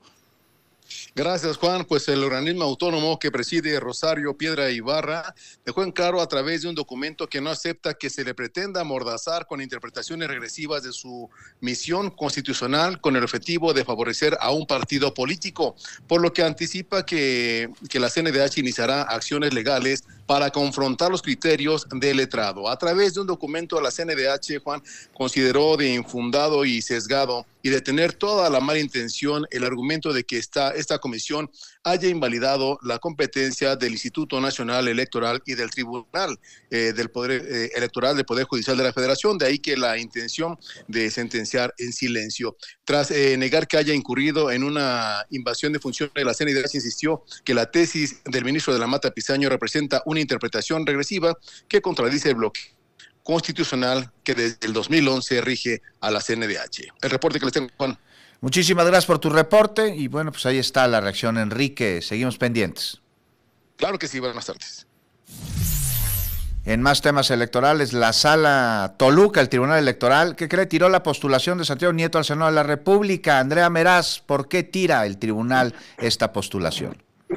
Muy buenas tardes, Juan. Pues hace unos minutos toma esta resolución porque de acuerdo con eh, la sala Toluca y el expediente y el proyecto que se analiza, Santiago Nieto no acredita una residencia efectiva, en este caso de Querétaro, por lo cual no cumple con los criterios para ser candidato al Senado por eh, Morena. La decisión de la sala regional todavía puede ser impugnada, llegar a la sala superior. Ahí veremos qué es lo que resuelve el máximo órgano en la materia, pero por lo pronto tendrá que hacer Morena una sustitución en el caso de Santiago Nieto Castillo. El reporte, Juan. Muchísimas gracias, Andrea Meraz, por el reporte. Y pues ahí está, ahí está esta determinación que me dices puede ser impugnada. Todavía se puede ir a sala superior, lo veremos en la siguiente semana seguramente. Tengo entendido que Santiago Nieto ya convocó una conferencia de prensa para mañana jueves, seguramente dará a conocer pues su posicionamiento respecto a este tema. Y seguramente se impugnará, Andrea, justo estamos buscando a Santiago Nieto para ver si le gustaría comentar con la audiencia pues qué opina sobre esta resolución y qué es lo que seguirá, seguramente impugnarla. Muchas gracias, Andrea, que tengas bonita tarde. Hasta luego, buena tarde. En más información, le doy a conocer que el juez 50 penal del reclusorio Oriente ya dictó auto de formal prisión a Eduardo Ramírez Tiburcio, al Chori, por los delitos de homicidio calificado y tentativa de homicidio en hechos ocurridos durante el año 2015. Juan Antonio Jiménez avanza, como ayer adelantábamos este proceso, para evitar que el Chori, uno de los generadores de violencia más peligrosos en el Valle de México, salga en libertad. Así es, Juan, gracias. Buenas noches. Y con ello, el juez determinó que las pruebas aportadas por la Fiscalía Capitalina son suficientes para considerar al Chori presunto responsable de estos dos delitos de homicidio calificado y tentativa de este, cuyo juicio será en el sistema penal anterior. Con esta determinación inicia el juicio de tipo ordinario en contra de Chori, a quien el juzgador le negó cualquier beneficio de libertad, por lo que el sujeto va a llevar el proceso en prisión. Hay recordar que ya también lo habían vinculado a proceso por el delito de cohecho y contra la salud, así que va a estar un buen tiempo en prisión mientras se define todas estas dos acusaciones que hay en su contra. Aún está por definirse también la fecha para la presentación de pruebas. La defensa del inculpado tiene tres días hábiles para apelar el auto de forma de prisión. Y es que hay que recordar precisamente que el 1 de marzo del 2015, el Chori, junto con Roberto Mollado, alias el Betito, que por cierto ya está sentenciado a 43 años de cárcel, y un tercer sujeto que está prófugo, atacaron a balazos a Daniel Álvarez, Jonathan Sinesio Lorio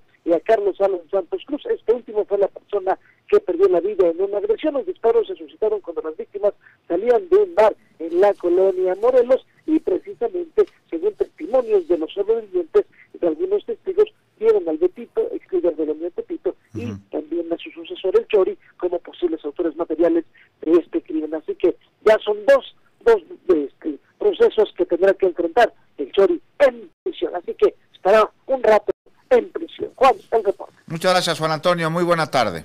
Gracias, buenas tardes. Vámonos a Sinaloa porque policías y músicos, ¿qué cree? Se enfrentaron, así es, en Mazatlán los músicos protestaban contra la iniciativa que busca prohibir a las bandas en las playas y bueno, pues los policías respondieron, felicitos Trujillo, me enlazo contigo, pues justo en vacaciones de Semana Santa donde la gente va a la playa y está escuchando ahí las canciones que le gustan y los músicos, bueno, llevan dinero a sus casas, a sus familias, se agarraron contra policías. ¿Quién ganó? Exactamente así como lo señalas, estimado Juan. Hoy integrantes de bandas de música se estuvieron manifestando este mediodía en las avenidas del mar y en la Camarón Sábalo, en Mazatlán. Están protestando la prohibición de tocar en el área de playas. esta manifestación que surge después de las polémicas declaraciones del empresario Neto Coppel y pese a las negociaciones que hay entre hoteleros, autoridades y el gremio de la música, se acordó que pudieran ir a tocar sin restricciones. Ahorita en Semana Santa es cuando llegan dinero a sus casas. Sin embargo, al parecer, muchas agrupaciones quedaron fuera. de cuenta, unas 20 bandas sinaloenses nada más les dieron permiso, unos que portan el gafete para ir y luego pues estar tocando y llevar dinero. Escuchemos parte, Felicitos, de lo que sucedió ahí.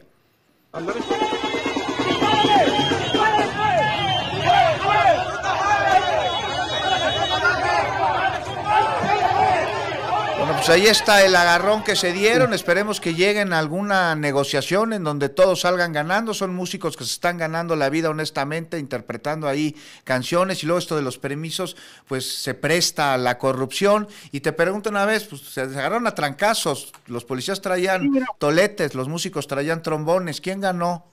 Exactamente, no, pues eh, agarraron a, a, Jesús Javier García, le dicen el trompas de Sinaloa, este, este músico, integrante de la manifestación, los colegas salieron la defensa, empezaron a lanzar algunos martazos, incluso algunos instrumentos musicales le tiraron, hay unos tubazos. Finalmente ya los policías soltaron a Jesús Javier, la marcha continuó, iban al Hotel Pueblo Bonito, propiedad de, de, Neto uh pues para manifestar, pues le tocar ahí enfrente, porque precisamente él inició este movimiento con este video que se convirtió en viral, haciendo estas declaraciones de que Mazatlán se convierte en un destino chafa y mucho turismo, turista norteamericano, pues está protestando, está molesto porque le arruinan la tarde. Pues ahí está, le arruinan la tarde y a muchos músicos les arruinan el sustento que llevan a sus familias y con esto de los permisos, algunos funcionarios embolsan un billete para que unos cuantos puedan tocar en la playa. En fin, felicitos, estamos pendientes, te mando un abrazo, muy bonita tarde. Otro para ti, el pendiente de tu llamado. Juan, buena tarde. Buena tarde. Volvemos, no se vaya.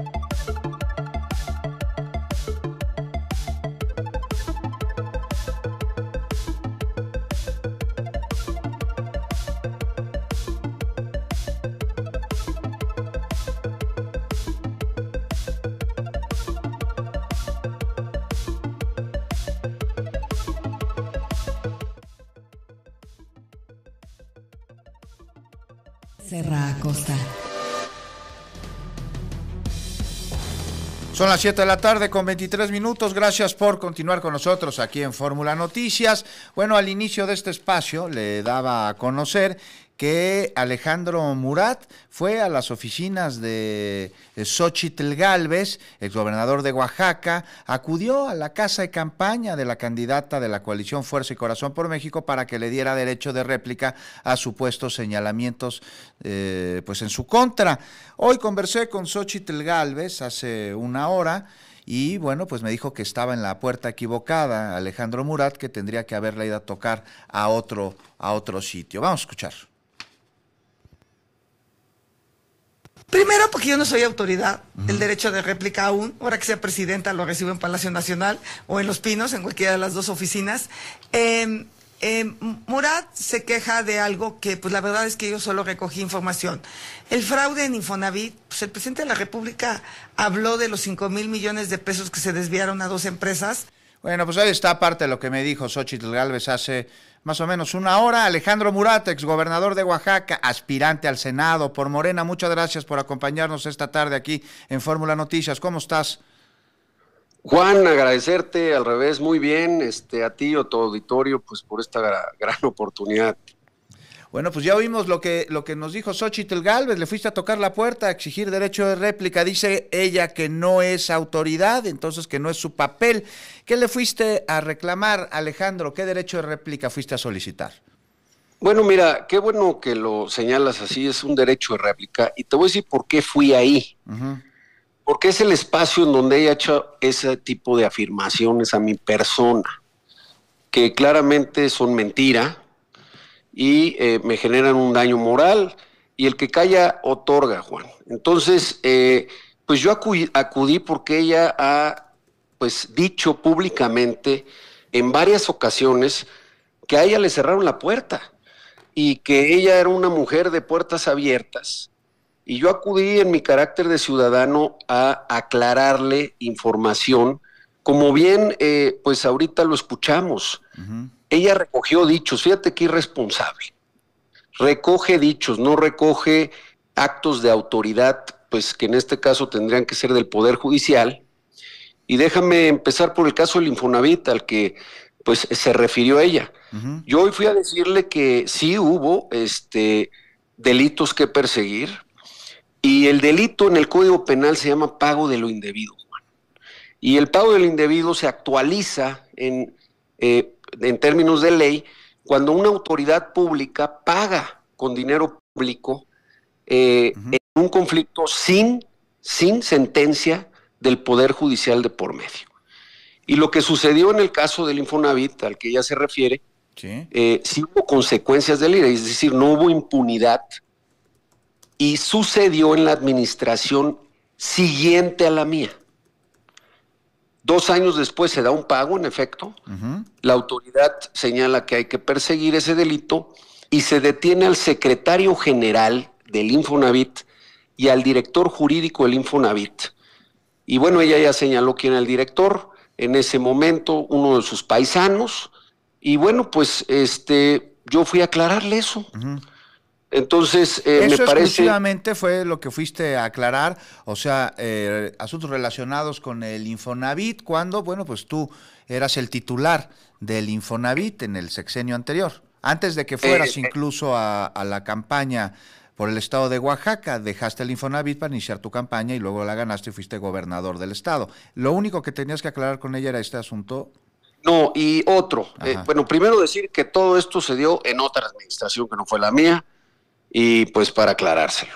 Y lo segundo, que me parece que pues al final eh, pues fue la parte que es reiterativa, ¿no? Fue a Oaxaca eh, este fin de semana y la verdad me sorprendió, ¿eh? quiero decírtelo Juan, porque pues ella anuncia su derrota anticipada este, este 2 de junio, en eso sí coincidimos, quiero decírtelo, y señala que habrá un gran fraude electoral y bueno, pues me parece que eso ofende a las oaxaqueñas, a los oaxaqueños, por supuesto, a mi persona, porque en Oaxaca sabemos defender, somos aguerridos el voto, ha habido ya, este, por señalar un ejemplo, tres gobiernos estatales de alternancia, Y me parece que es una gran ofensa. Yo lo que le diría a ella, y es lo que le quería señalar, es que no busque culpables. Ella es la candidata. Que haga un llamado como lo hizo en la Coparmex y los partidos no le están dando dinero, bueno, pues ahora que los emplace para que le hagan sus estructuras de defensa del voto. Entiendo que están disminuidos, lo lamento por ella, que le hagan sus estructuras de promoción del voto, pero que no esté haciendo señalamientos que no tengan que ver con la responsabilidad que ella tiene. Y muy simple, ¿eh, Juan? Como alguna vez lo dijo Alejandro Martí, si no puede, pues que renuncie. Y fíjate, también dijo que me reclutaron. Y bueno, pues, pues eso sí arde, ¿no? Al final yo tomé una decisión porque no íbamos a ser cómplices de un cuchupo, de una simulación que quisieron vender como democrática cuando ya se había definido antes del proceso, ahí sí hubo un fraude en su proceso electoral se definió por ella. A eso eh, voy, Alejandro, a eso quiero platicar contigo para que dejes muy en claro cómo dejas el Partido Revolucionario Institucional, en donde militaste eh, durante muchísimo tiempo, a través del cual llegaste a la gubernatura de un estado, del estado de Oaxaca.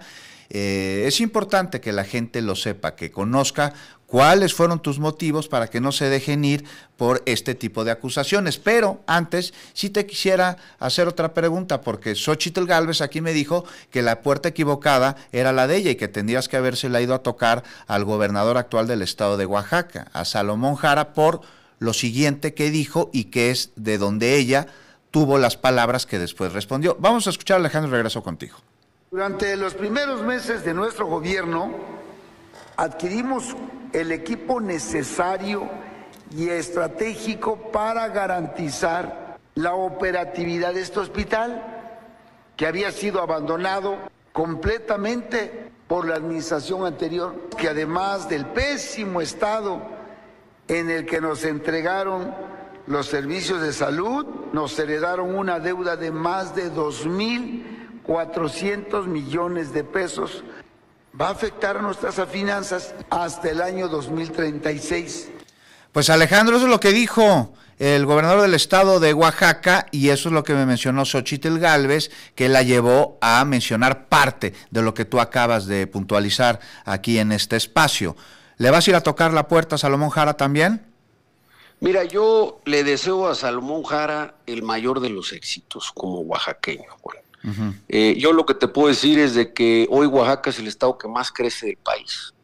Así lo dejé, así sigue, que dejamos las finanzas públicas con los tres semáforos en verde, de acuerdo a la Secretaría de Hacienda, con eh, triple, con la mayor calificación A, a, más, si no me equivoco, o A menos, es la más alta que haya tenido la deuda pública del Estado. Y en eso seguiremos. Hoy eh, el gobernador, pues al final es mi compañero y lo que yo haré es ayudarlo a que le vaya muy bien a Oaxaca. Y esa es mi tarea. Muchas gracias, Alejandro. Oye, pero ahora cuéntanos, ¿cómo, ¿cómo dejaste el revolucionario institucional y te vas a Morena para que se lo expliques bien a la audiencia y no haya malinterpretaciones? ¿Cuál fue tu principal motivo y cuál es tu principal motivación que no siempre son lo mismo? Y te lo agradezco, Juan, porque esta es una gran pregunta. Fíjate, Mira, lo que uno no puede hacer es eh, fallarle a sus convicciones y a sus principios. Tú cuando te ves en el espejo no te puedes hacer tonto. Y hoy pareciera que en el frente justifican lo injustificable, pues. Perdonan todo. Y el primer paso que se dio fue hacerse guaje en el proceso eh, para elegir la candidatura presidencial. Yo quiero decirte que hay un grupo que también, por supuesto, eh, porque me parece que es obligación de Xochitl que haga público quién es este pequeño grupo de mexicanos que ahí se hubo un pacto de sangre para sus intereses creados, que la impusieron. Este grupo también vetó, y te lo quiero decir, a los priistas porque señalaron internamente que no podía haber un candidato a la presidencia del PRI ni de la jefatura. Nos quedan dos minutos, Alejandro, pero te hago esta reflexión que se la hice al dirigente del PRI la semana pasada, cómo por primera vez desde 1929 el Partido Revolucionario Institucional va a la candidatura a la presidencia sin candidato propio, igual a la jefatura de gobierno en la Ciudad de México desde 1997 y se alía con el Partido Acción Nacional que surgió para detener o intentar detener las políticas del general Lázaro Cárdenas. Y luego, ¿cómo se decide sin participación ciudadana, prometida esta participación ciudadana, al momento de designar a una candidatura? Porque fue una decisión cupular, un dedazo. ¿Eso es lo que te molesta? Por supuesto, y aparte que se puso una candidata panista. Yo siempre he tenido una vocación social, estoy claro de que Claudia Sheinbaum representa el México que todos queremos de igualdad y por supuesto la transformación. Y hoy estamos en esa ruta, congruentes con nuestros principios y rechazando la manera indigna en que trataron a los priistas y nos impusieron una panista. Pues Alejandro Murat, aspirante al Senado por el partido Morena, exgobernador de Oaxaca, ahí está, fuiste a tocar la puerta a Xochitl Galvez, no te la abrió. Y bueno, pues ahí está la respuesta. Muchísimas gracias, espero que tengas una excelente tarde y estamos pendientes, espero poder conversar contigo próximamente. Sí, ojalá y en tu espacio la siguiente vez. Te agradezco mucho, Juan, y reiterarte, hoy fui por mi derecho a réplica con mucho respeto a la candidata. Gracias por la oportunidad de que sea una gran Semana Santa. Muchas gracias. Muchas gracias, Alejandro Morat. Sí, conversamos de nuevo. Los micrófonos siempre abiertos. Nos vamos antes a una pausa. No se vaya al regresar, pues el debate de cada miércoles ya está con nosotros la diputada por el PRI, Cintia López Castro, el diputado por Morena, Hamlet Almaguer. Vamos a hablar de encuestas y de chapulines que es, por cierto, uno de los ingredientes culinarios pues más socorridos por la política mexicana. Volvemos.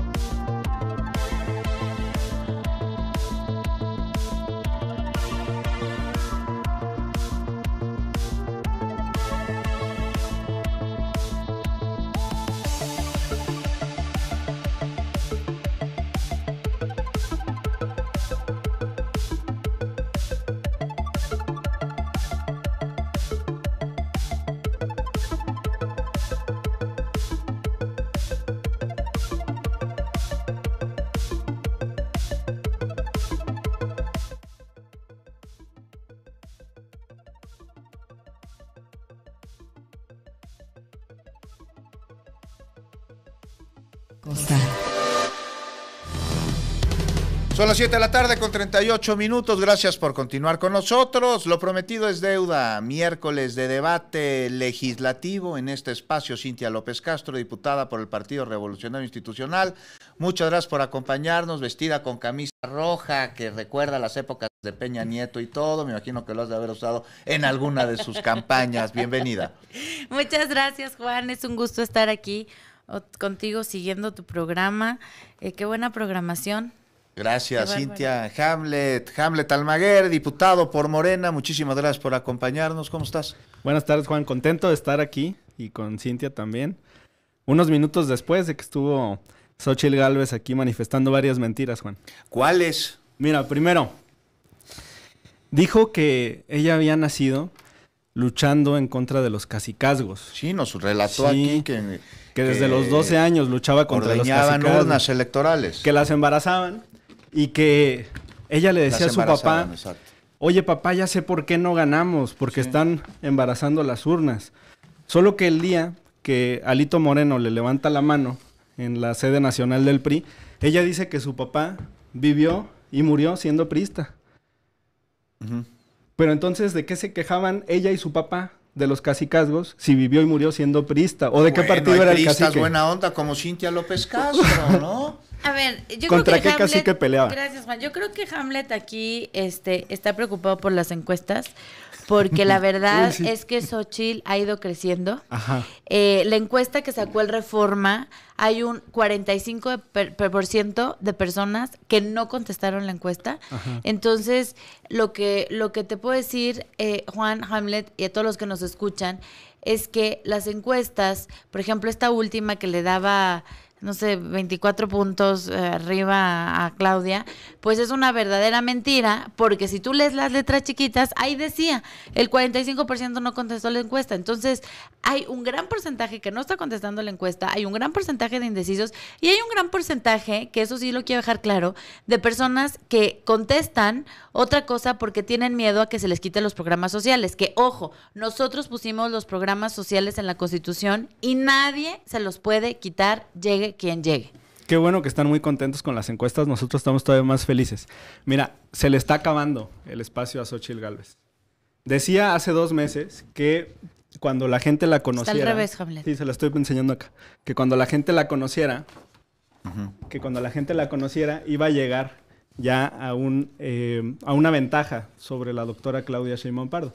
La realidad es que ya tiene 75% de conocimiento Xochitl Galvez y no se ven dónde están los, los fans, los que apoyan a, su contienda presidencial, a su candidatura. Ya se le está acabando el espacio para alcanzar a la doctora Sheinbaum, no solamente en tiempo, sino también en personajes que no la conocen. ¿Qué negativos tiene Xochitl Galvez? 31% de opinión mala y 14% de opinión muy mala.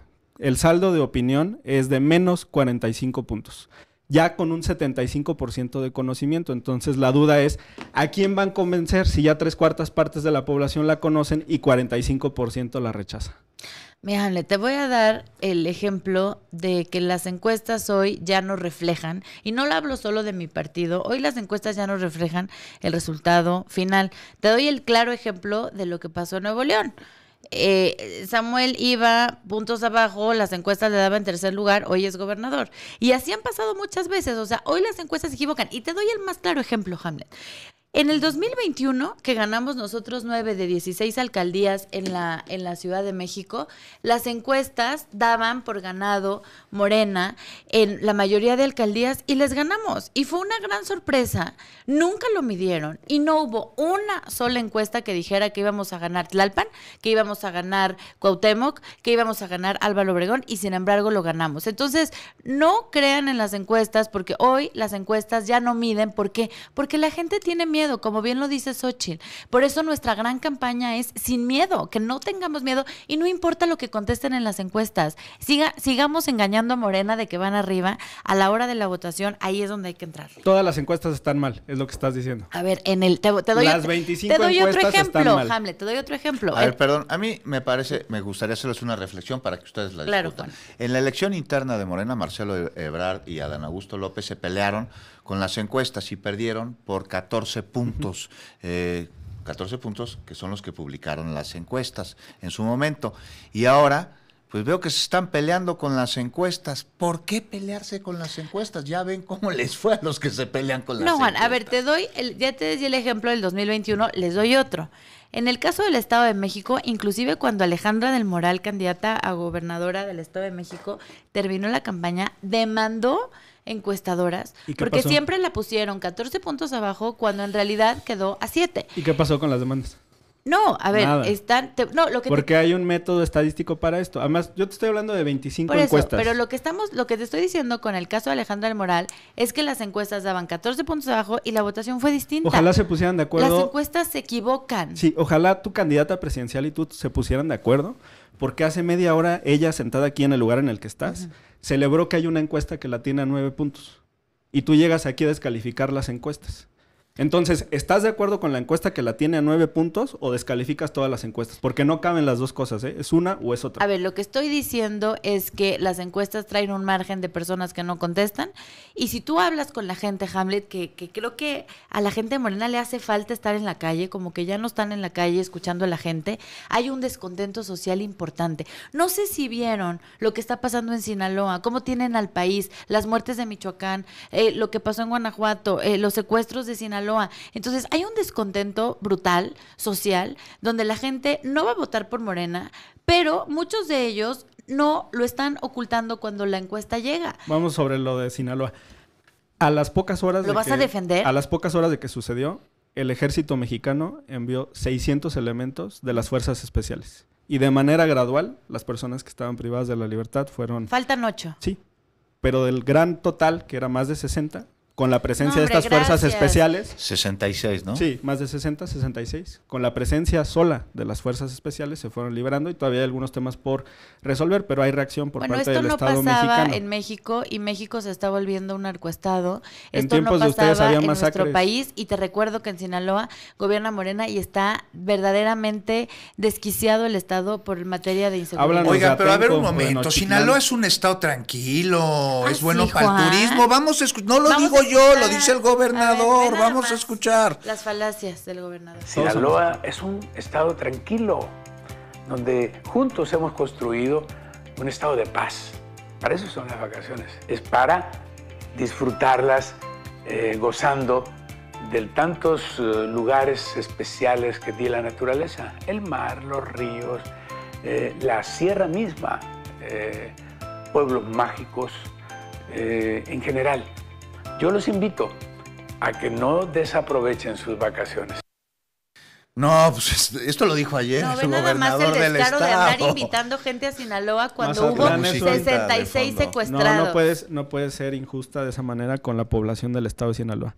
Mazatlán es un gran destino No, no, turístico claro, y el propio hay Sinaloa, personas por supuesto. o ponte de acuerdo con la candidata al Senado por tu partido, porque mientras tú estás aquí diciendo que en Sinaloa no hay condiciones, hay personas, incluso de tu propio partido, que están invitando a que en esta Semana Santa la gente visite Mazatlán. A ver, yo no estoy es que ese es el problema, Cintia. Tú llegas aquí con una visión que contrasta con lo que dice tu candidata a la presidencia y con lo que dicen los propios referentes de tu partido ver, en otros estados. Hamlet, por supuesto que, que, que siempre será una promotora del turismo, por supuesto, y más en el bello Mazatlán, en Sinaloa, en todo. Lo que estoy evidenciando, y no te salgas por la tangente, es el clima de inseguridad que hay en el país, que están los más altos índices de, de homicidios. En Guanajuato. No, perdóname. Sí, es el primer lugar. en el país. Y además los 66 secuestrados en un estado de violencia absoluto donde el Estado no puede controlar el Estado. Es un narcoestado. Mira, si quieres vamos a hablar de las Y propuestas de tu candidata a la presidencia en este punto. Rápidamente de seguridad, Xochitl Galvez trajo hace rato que vino la encuesta del Envipe 2023, en donde me dijo que se contradecían los datos que se han dado a conocer sobre la reducción de incidencia delictiva y percepción de inseguridad en la Ciudad de México. Porque, bueno, pues esos son los datos. Ha bajado la delincuencia en la Ciudad de México en más de un 50%. ¿Y entonces por qué Omar Eh, García que no, yo te no lo pregunto, hacer le pregunto a Hamlet. ¿Qué Sí está opinas de la, de la encuesta de Este, Envipe Omar García Harfuch está 2023? haciendo campaña y además te van a ganar. Oye, a ver, Javier. Pero mira. Yo le más le dejo decir una cosa. O sea, si fuera tan segura la Ciudad de México como dice Omar García Harfuch, mi pregunta es, ¿por qué le da miedo hacer campaña en la calle entonces? ¿A quién? A Harfuch. No, ahí sí no manches, lo quisieron matar ahí. Por eso- durísimo pero no que es muy seguro la ciudad. Sí está haciendo No, bueno, pero es un caso particular. Pero no que es muy segura la ciudad. Para Omar campaña. García Harfuch no es eh, seguro ningún espacio en la República Bueno, Mexicana entonces haber que pisado no se, que de no la se candidaten, que no se candidaten. No, ¿por qué no? Son sus Porque- derechos político-electorales. Porque, porque las candidaturas se ganan en yo la no estoy calle. debatiendo Bueno, esta tarde aquí. mira, como dijiste hace un momento, vamos a ver el 2 de junio y no el 2 de julio, como cree tu candidata. Eh, ¿Quién es quién en las urnas? Eso se va a notar. Les vamos a ganar. Y en el Senado de la República. Empezando por la mira, ciudad. yo sí creo que tú vas a quedar en segundo lugar, que te va a corresponder la de primera minoría, porque no creo que Sandra Cuevas te alcance. ¿no? Ella va en tercer lugar y Movimiento Ciudadano. Gracias, Hamlet. Pero claramente, claramente Morena está arriba, con además una dupla extraordinaria, Ernestina Godoy y García Harbuch. Entonces nos va a ir muy bien en el Senado de A la ver, les va- República.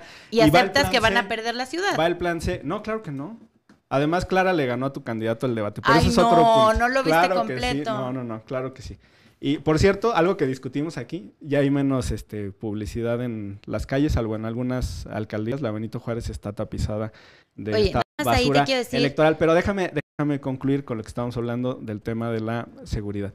Dijo tu candidata, también aquí sentada hace 40 minutos ya, que va a dejar de perder dinero en Pemex, prácticamente que lo va a cerrar para que no pierda dinero, y que le va a destinar un billón de pesos a seguridad, a salud y a educación.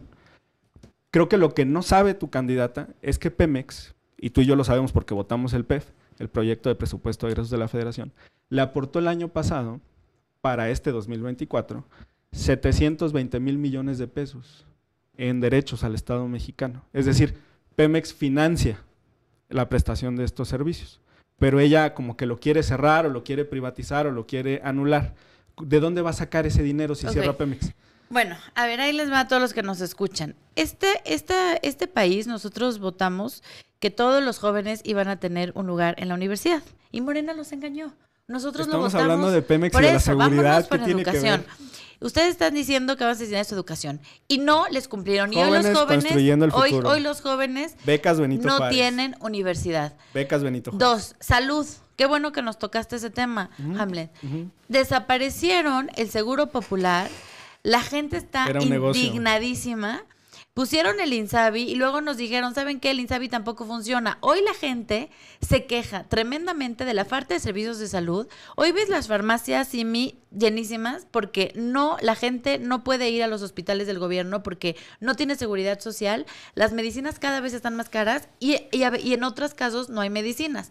Entonces, en términos de salud, ha sido el sexenio eh, con peores resultados en materia de salud. No hay Es- vacunas. es el 300 once- 360 mil niños sin vacuna de sus primeras vacunas, no como tú y yo que sí nacimos y pues nos pusieron las vacunas. No, pues todos Ahora ya los nacieron, los- todos ahora- los habitantes de No. este país nacieron como que tú y yo sí nacimos. No, na- nacimos ¿De qué hablas? y nos pusieron la vacuna. Pues sí nacimos, claro No. que nacimos, si no, no A estaríamos ver, aquí. Hamlet, cuando Mira, tú y yo, cuando tú y yo y vivimos. Cuando tú y yo nacimos, había un gobierno que sí nos daba vacunas. Hoy Ajá. los niños que nacen, hay 360 mil niños que nacen, pasa un año y no tienen sus primeras vacunas. No tienen tétanos, no tienen todas las vacunas que requieren tener. ¿Por qué? Porque este gobierno no tiene vacunas. Entonces, a ver, es un gobierno que lo que dice Xochitl es porque sí nos preocupa mucho la No educación y es prioridad. Ve cómo tienen las escuelas morenas. A ver, te no hay baños, no, no. te estoy es- hablando de un tema no hay bancas, serio. no hay arcotechos. Cintia. Vean en salud. ¿Y cuál fue el tercer tema que me dijiste? Cintia, Seguridad. te estoy hablando de un tema muy serio que consiste en cómo se van a financiar esas promesas de campaña. Y tu candidata dice que dejando de perder dinero con Pemex. No sabe que Pemex le deja al Estado mexicano 720 mil millones de pesos al año. Eso es lo que paga de derechos a nuestro país. Entonces tú dime de dónde va a salir el dinero para lo que Oye, quieren a hacer. ver, dime una cosa, ¿qué sienten que ya se les va a acabar? Y que tuvieron los seguir, peores nos vamos a quedar otros resultados. seis años. Y que tuvieron los peores resultados en lo que acabas de decir. Recapitulo, seguridad, educación y salud. No, y te voy a decir otra cosa. A ver, tu candidata trajo aquí esto donde aceptó, otra vez es que no ves lo que dice tu candidata a la presidencia. Aceptó que hubo una reducción en la percepción de inseguridad. Para ella no es suficiente que se haya reducido en nueve puntos, pero ella vino aquí a aceptar que se había reducido. No, al contrario. Y Ella luego vino, a evidenciar que no, No, son los números que dice el gobierno. Pero sí vino a decir que se había reducido. Vino también a decir, eh, hay cosas positivas del actual gobierno en los programas sociales. Entonces yo los invito a que voten a favor ahora que están las discusiones de las reformas del presidente A ver, yo de la he República. dicho y que vino lo que también se a haga fusilarse. bien, vamos a ir, Cintia, vamos no a ir siempre a favor. A ver, y vino a fusilarse una propuesta de campaña de la doctora Sheinbaum. No es cierto. Sí, en los 100 puntos, No ella dijo, ella estableció, ahí viene, que los elementos de la Guardia Nacional y de la Policía Civil van a tener por lo menos el salario promedio de cotización del IMSS en este país, Eso lo que son Xochitl 17 mil. Pesos al mes. Y ahora ella llega aquí, se sienta y dice que les va a pagar 20 mil. Viene también aquí a decir lo de las pensiones de adultos de 60 a 65 años, pero no dice cómo se van a financiar esos programas. Entonces, la audiencia merece saber de dónde va a salir el dinero, Cintia. A ver, ¿De dónde va a salir? Efectivamente, y ahí te quiero decir que la primera que habló de esa propuesta fue Xochitl, no Claudia. Entonces, en, ca- en dado Del caso, salario de los policías. ustedes fueron los que copiaron. Y dos, el tema del salario de los policías es algo que siempre se ha manejado. Entonces, Es- vota a favor. es- Oye, es- cuando, perdón, cuando Peña Nieto era presidente de la República, ¿le pagaba bien a los policías? A ver, Juan, ahorita estamos peor, ¿eh? Ahorita ¿Cómo estamos vamos a peor. estar peor? Ahorita estamos peor. Igual que tu O sea, candidato Tabuada que mintió Hoy y me dijo tocó que ver, hoy me tocó ver a todas las personas de la Guardia Nacional en periférico, en, en camiones, ver cómo los transportaban a Sinaloa en las peores condiciones, les quitaron prestaciones con los peores salarios, iban 65, ¿Cuáles peores iban como salarios? 65 personas en un camión, y sin alimento, este, con el sol, eh, maltratados. Entonces te voy a decir una cosa, la gente no está contenta con lo que están haciendo con la Guardia Nacional. Eh, es verdaderamente terrible cómo han ustedes maltratado al- a, lo, a lo que se convirtió la Guardia Nacional. Entonces, lo que no hicieron en seis se construyeron años, cientos Hamlet, de cuarteles precisamente ¿Sabes para que no se quedaran Hamlet? en hoteles llenos de piojos donde ustedes piso. no, ustedes A los hospedaban como en gobierno en hoteles llenos de piojos por hacer negocios pagando a sobreprecio las habitaciones durante meses.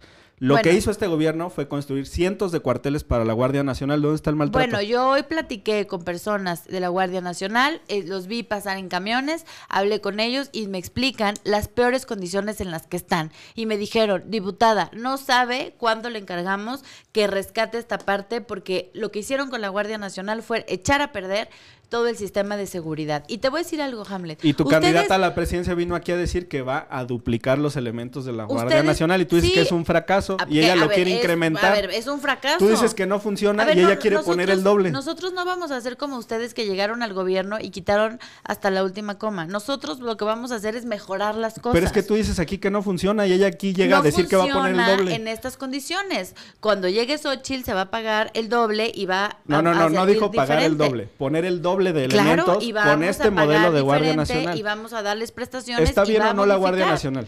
Ah, por supuesto que no está bien. Entonces, como ¿por lo qué están quiere haciendo. que crezca el doble si no está bien?